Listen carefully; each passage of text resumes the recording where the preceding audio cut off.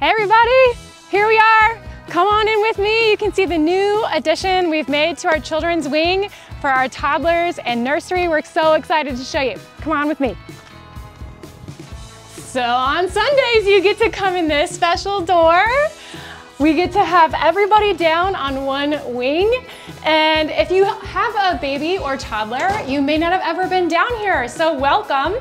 For those of you who have been down here before, I'm so excited to show you our new space. But from now on, everybody can come in the same door and we can do all of our check-in down in this wing at our remodeled hallway, which I'll walk you down now. Thank you so much to Nisa for doing our artwork and making this a beautiful space. And thanks so much to everyone who's made such a gift of their time to get the painting done, get everything remodeled. Let's take a look. So here we go into our new toddler room. We have everything specially placed. Um, it's all a work in progress, of course, but for those of you who are coming in and serving or your kids are in here, we love providing them a space that they can enjoy, that's fun, that gives them natural light. They have easy access to the bathrooms now, and we have the ability to have a live feed with brand new TVs for all of our people who are in here working with our kids to be able to catch little glimpses of what's going on in service.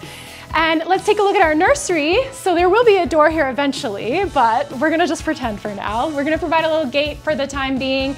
But in this space, we've again got our TVs, we've got lots of um, space for the kids, some blackout blinds for those times when babies don't necessarily wanna have a lot of sunlight coming in, lots of rocking chairs and beautiful space for, again, volunteers to just relax and enjoy their time cuddling those little ones and providing an awesome Sunday time for our families.